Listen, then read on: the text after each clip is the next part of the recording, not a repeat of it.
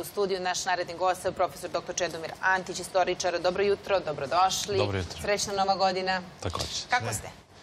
Pa, dobro je. Raspoloženo novo Različno. Čedo, da li je prošle godine bilo lakše biti Srbi ili će to biti iduće godine, mada evo vidimo Kosovo se ponovo sprema za konkurisanje UNESCO-u, e, dva napada su prošla, e, nisu e, dobili dovoljan broj glasova, ali već ponovo najavljuju da će, kaže, popisuje se kulturno blago Kosova, svi srpski manastiri, zadužbine, veliki srpski vladara bit će proglašeni za nacionalno blago Kosova, za kulturu Kosova.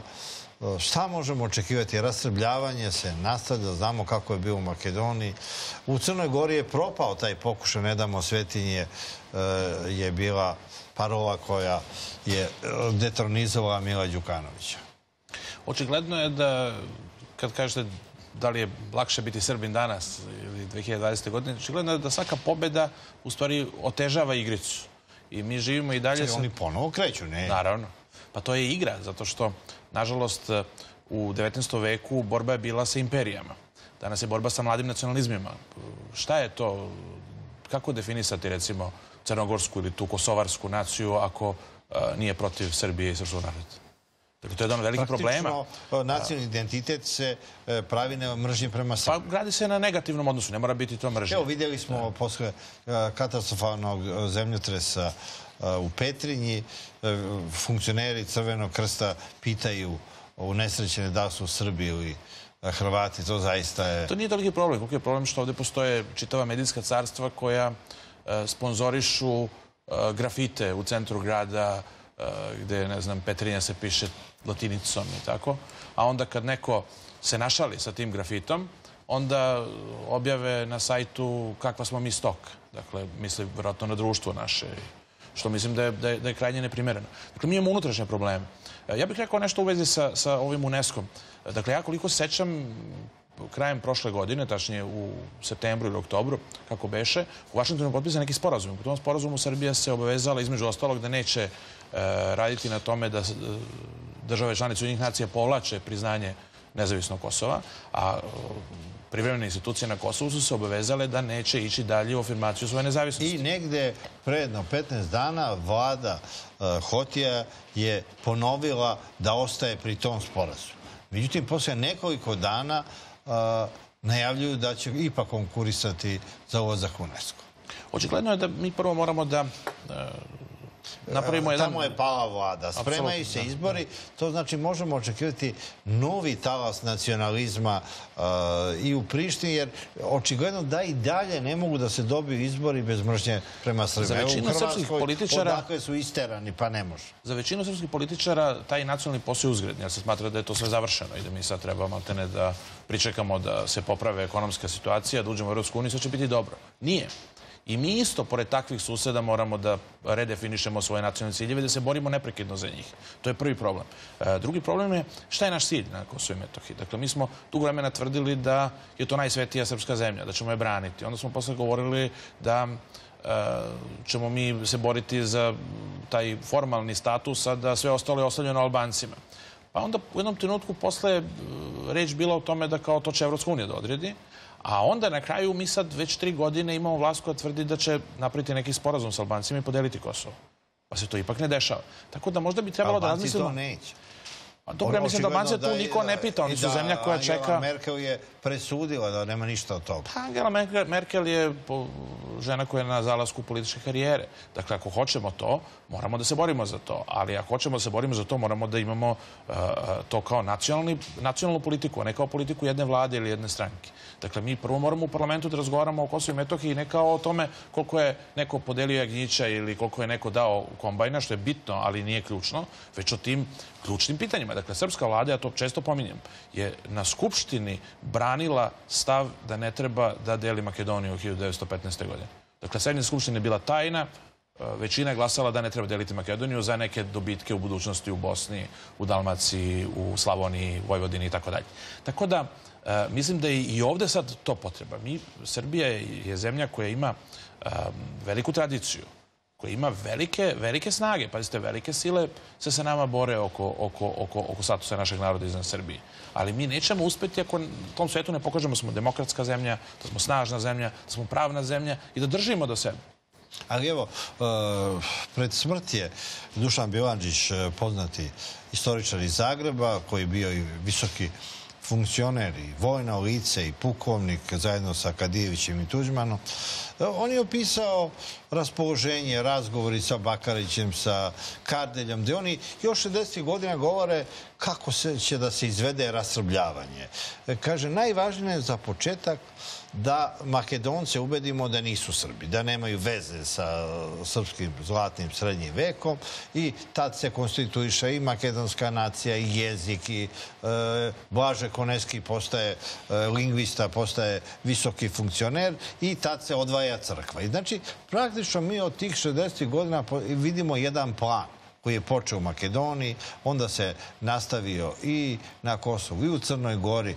Mi znamo, nije ovo prvi put što je radio Milo Đukanović. To su radili i Veljko Milatović i e, Đuranović i Žarković i ovi crnogorski funkcioneri koji su pali pred gnevnim ustankom naroda praktično Milo Đukanović je e, došao na srpskom nacionalizmu i na odbrani srpstva je pao. Praktično to je zaokružen. No. I to se sad nastavlja u, u Bosni. Na svaki način pokušava se uništiti e, Republika Srpska i oduzeti joj se e, neke nadležnosti. Plan i dalje ide. Od 60 godina... Evo da, ja bih rekao da taj plan traje od 20-ih. Dakle, nije to plan koji je izmišljen.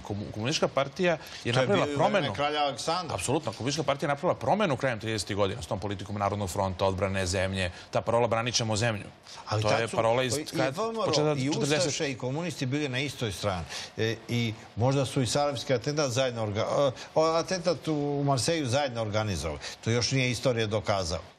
Za mene to nije toliki problem, to je dokazano istorijski. Za mene je veći problem što mi danas imamo u Srbiji određene političke stranke, određene nevladine organizacije koje e, su na istom tom fonu. Oni smatraju da tako a, treba. A nisu... Da treba a, Srbe vezati a nisu, za granice i da ne utiču ni na nisu kakve... Nisu prokažene od strane države. To je veći problem.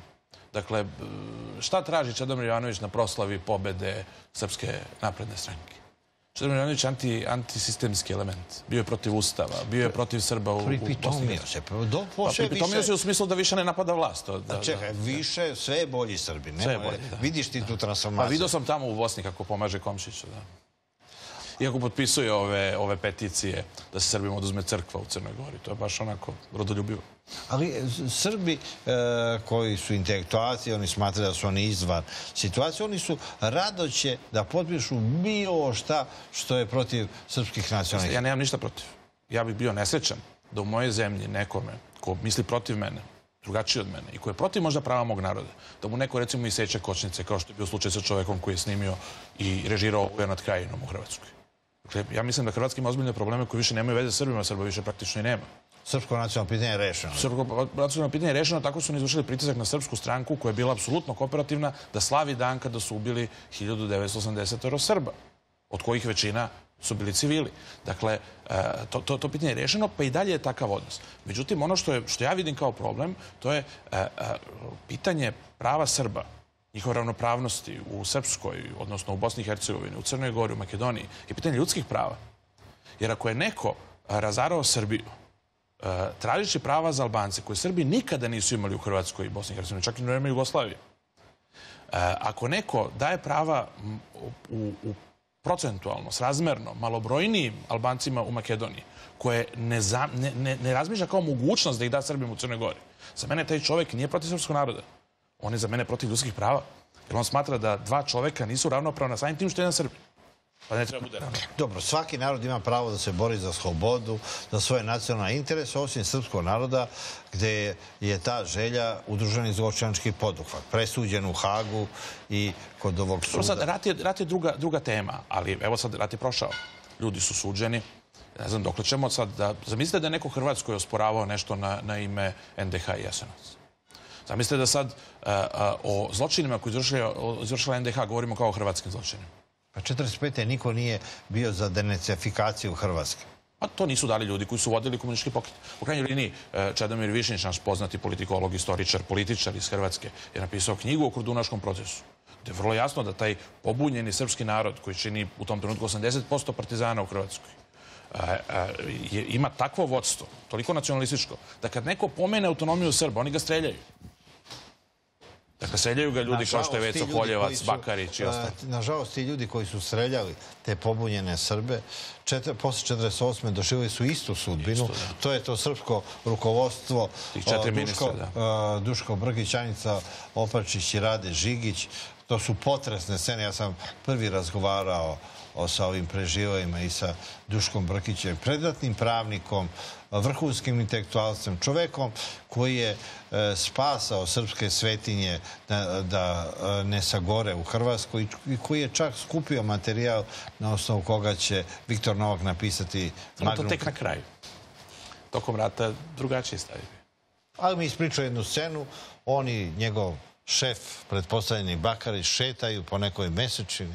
Bakarić mu kaže, Hrvati su najbolji vojnici na svetu. Kaže, ja ga gledam i pitam, pa kaže, mi smo partizani šaka. Ja, pa kaže, nisam mislio na partizane, ko smo mi? Ustaše su najbolji vojnici na svetu. Crna legija, Jure Francetića i Boban. Pa često kod nas repriziraju onu dokumentarnu, emisiju sa kraja 80. godina. Njeni elementi emisije su snimani 70. godina još. Ambasador je bio u Štokholmu. Pa kad Branko Jelić, koji je jedan ustaški emigrant, drži govor na proslavi 30. godine NDH i onda kaže mi smo se pomirili sa komunistima. I cela sala apludira. Pa ono što su- govorili Branko Jelić i Maks Ubrić, najveći ubica e, nacionalno pomerenje, da nije važno da li je neko bio u Ustaškoj bojni ili partizanskoj brigadi, to se desilo 90. godina sa dolaskom nove... Šta treba da se desi da se Srbi pomiri? E sad, Mislim, ja nisam možda protiv toga da, da se vlade menjaju, da ljudi imaju istoričari, različite... ko to zna? Astrolozi, istoričari? Istoričari ko? se bave istorijom, istoričari se ne bave politikom. Ali kažu da je tu zapravo sve. Da odatle treba da učimo i da Dobro, saznamo treba, naravno, kako ali, i šta ali i... istoričari proučavaju, proučavaju izvore, razmatraju jeli, šta se dogodilo, a ne daju savete. Ovaj. E sad, Ne daju savete. bili jako bogati kad bi davali Treba nam savete. neko ko deli savete. Izvinjam se. je po, povučena zabrana možda... Ja, koliko sam razumeo, aktualni predsjednik, profesor dr. Zdravko Krivokapić, razmatra naš slučaj. Čekaj, možete... Pa ne, ali kako je Ali koliko Matija? je, koliko, je, koliko je taj slučaj ozbiljan, sada činjenica da je gospodin Matija Bečković bio u Crnoj Gori, da je govorio na sahrani A Amfilohije. a njemu nije skinuta. I da mu je Krivokapić poljubio ruku tom prilikom. Tako da, Ko će tebi poljubiti ruku? ja se radim isto Krivokapić. Tako čekam da me pozove. Ali evo, vidimo, uh, Milo Đukanović je uh, po, o, tra- na novo razmatranje poslao zakon o slobodi veroispovesti zbog koga uh, se to i desilo u Crnoj Gori. Po zakonu ako ga parlament ponovo usvoji, morat će da ga potpiše Milo Đukanović i inače je to kršenje ustava. Je ti iznadilo to što je uradio Nije, zato što je on, on je, ja imam naravno loše mišljenje o njemu, ali ja sam protiv toga On da apsolutizujemo, apsolutizujemo loše mišljenje. On naravno nije dosadan, nego samo što je on politička zver. Dakle, on poznaje jako dobro politički sistem, dugo je, ima veliki talenat politički. Nažalost, nije ga koristio u ispravne svrhe i, u časne svrhe. Njegova ideja je sledeća. Prvo, on hoće pokaže da postoji uh, on da, njegov režim, da njegov režim nije režim koji je pao, već da je to pokret nacionalni koji je trenutno doživio jedan, jedan udarac, izgubio jednu bitku. E, Druga stvar, on želi da pokaže da je on na čelu tog pokreta, a ne Duško Marković ili neki komita koji će sada se rodi na ulici. I treća stvar, njegova ideja je da uradi nešto slično kao što je radio sa Vrhovnim sudom Savezne Republike Jugoslavije. Naime, naši nesrećnici su se spremili bili da na Vrhovnom sudu brane državnu zajednicu, a onda je Đukanović posavjetovao, vjerojatno on, pošto mislim da ti ljudi nisu toliko baš ni, ni obrazovani ni inteligentni, sudije da daju otkaz. I time je sud onesposobljen, ne može da se izabere nove, no, nisu mogli da se izaberu novi članovi i umjesto da se raspravlja o tome zašto nisu sprovedeni izbori za neposredni izbori za poslanike državne zajednice, raspravljalo se o referendumu. Tako da, nešto slično hoće i sada. Dakle, e, njegove ustanove nisu verifikovale sve mandate, on sad upućuje na e, Ustavni sud, e, Skupštinu i vladu. Na Ustavnom sudu, evo, početkom ovog meseca i početkom sledećeg meseca dvoje sudi odlaze u penziju i on ulazi u krizu zato što nema dovoljne većine u parlamentu da biraju nove e, sudije Ustavnog suda i time sve ulazi u krizu. Evo, pratimo šta Vidjet ćemo kakva će biti ova godina. Hvala. Hvala vam. Čuvajte se. Imamo kratku pauzu pa se vraćamo u studiju.